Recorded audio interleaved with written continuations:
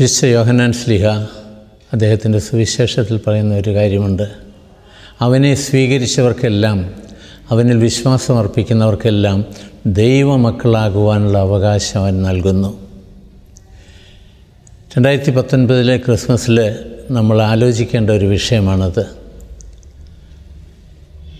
വർഷങ്ങളായിട്ട് നമ്മൾ ക്രിസ്മസ് ആഘോഷിക്കുമായിരുന്നു. ആഡംബരപൂർവമായ പാട്ടുകുർബാനയും ഡെക്കറേഷൻസും വീട്ടിലെ പാർട്ടിയും പുതിയ വസ്ത്രങ്ങളും ഒക്കെ കൊണ്ട് അങ്ങനെ എല്ലാ വർഷവും നമ്മൾ ക്രിസ്മസ് ആഘോഷിക്കുമായിരുന്നു.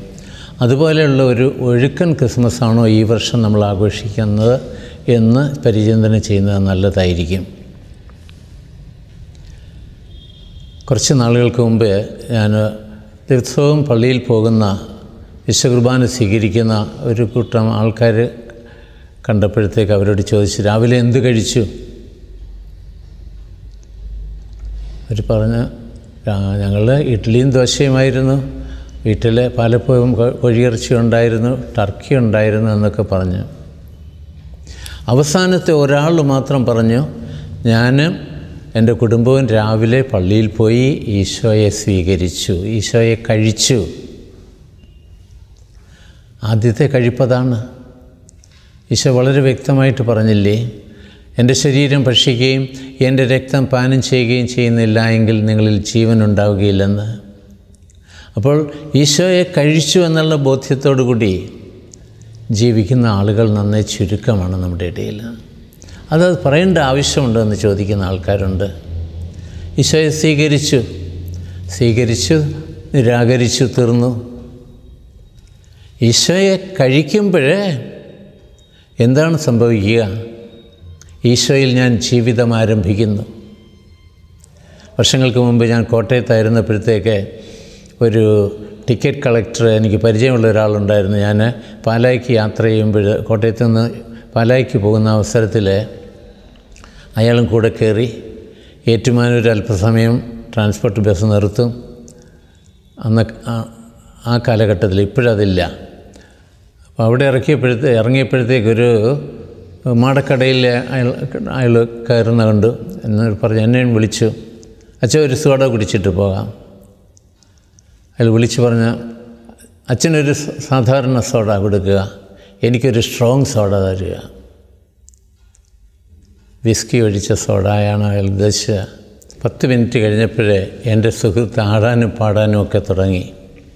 ഉള്ളിൽ ചെന്നത് പ്രവർത്ത പ്രവർത്തനം ആരംഭിച്ചു എന്ന് ചുരുക്കം. ഈശോയെ കഴിക്കുന്ന നമ്മൾ ഈശോയെ സ്വീകരിക്കുന്ന നമ്മൾ ഈശോയിൽ നവീകരിക്കപ്പെടേണ്ടവരാണ്. ഓരോ ദിവസവും അത് സംഭവിക്കേണ്ടതാണ്. ഈശോയുടെ ജീവിതശൈലി പെരുമാറ്റ രീതി ഈശോയുടെ മനോഭാവം പൗലസഫസലിന് ഇതെല്ലാം വളരെ വ്യക്തമായിട്ട് പറയുന്നുണ്ട് ഫിലിപ്പിയർക്ക് എഴുതിയ ലേഖനം രണ്ടാമത്തെ അധ്യായത്തിൽ യേശുക്രിസ്തുവിനുണ്ടായിരുന്ന അതേ മനോഭാവം തന്നെ നിങ്ങൾക്കും ഉണ്ടായിരിക്കട്ടെ. ദൈവമായിരിക്കെ ദൈവത്തോട് സമാനനായിരിക്കെ ആ സമാനത മുറുകെ പിടിക്കാതെ ദാസന്റെ രൂപം സ്വീകരിച്ചവനാണ് എന്റെ യേശുവെങ്കിൽ ഞാനും നിങ്ങളുമൊക്കെ ദാസനും ദാസിയുമായി രൂപാന്തരപ്പെടണം. ഇതുപോലെയുള്ള ഒരു രൂപാന്തരീകരണമാണ് നമ്മുടെ ജീവിതത്തിൽ ആവശ്യമായിട്ടുള്ളത്.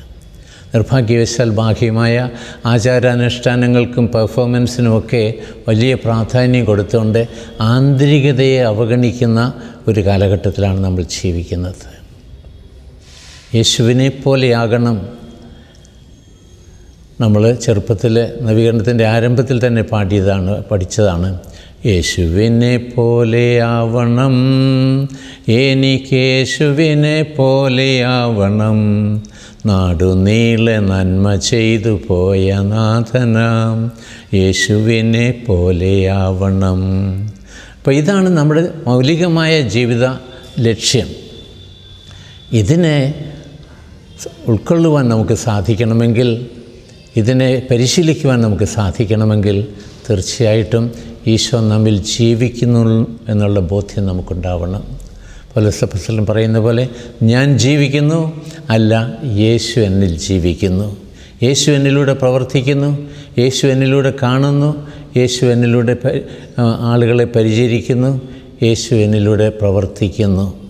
ആ ഒരു മനോഭാവത്തിലേക്ക് വരണമെങ്കിൽ തീർച്ചയായിട്ടും യേശുക്രിസ്തു എന്നിലുണ്ട് എന്നുള്ള ആ ബോധ്യം എനിക്കുണ്ടാവണം. ഇത് നമ്മുടെ ബേസിക് ഫെയ്ത്താണ്.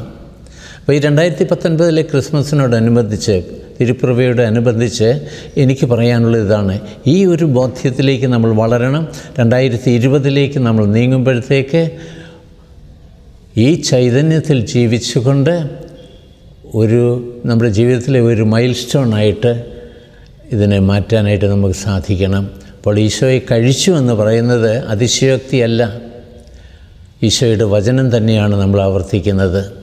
അപ്പോൾ രാവിലെ ഈശോയെ കഴിച്ചു അല്ലെങ്കിൽ വചനം കഴിച്ചു വചനബദ്ധമായ ജീവിതം ഞാൻ നയിക്കുന്നു. ഈശോയെ കഴിച്ചു ഈശോയുടെ വഴിയിലൂടെ ഞാൻ നടക്കുന്നു. വഴിയും സത്യവും ജീവനുമായ യേശുവിനെ അനുധാവനം ചെയ്യുവാനും അടുത്തറിയുവാനും അനുഭവിച്ചറിയുവാനുമുള്ള ഒരവസരമാണ് ഈ ക്രിസ്മസ് എന്ന് ഞാൻ പറയും. അതുകൊണ്ട് ഈ തിരുപ്പിറവി ആഘോഷം വെറും ആഡംബരങ്ങൾക്കും ആചരണങ്ങൾക്കും മാത്രം പ്രാധാന്യം കൊടുക്കാതെ ആന്തരികതയിലേക്ക് കടന്നു വരുവാൻ നമ്മുടെ ഉള്ളിന്റെ ഉള്ളിൽ വസിക്കുന്ന ആ ദൈവവുമായിട്ട് ബന്ധപ്പെട്ടുകൊണ്ട് അവിടുന്ന് ജീവിക്കുവാൻ അവിടുന്ന് പ്രവർത്തിക്കുവാൻ നമുക്ക് സാധിച്ചിരുന്നെങ്കിൽ എന്ന് ഞാൻ ആശിക്കുകയാണ്. എല്ലാവർക്കും ഒരിക്കൽ കൂടി പിറവി തിരുനാളിന്റെ മംഗളങ്ങൾ ആശംസിക്കുന്നു.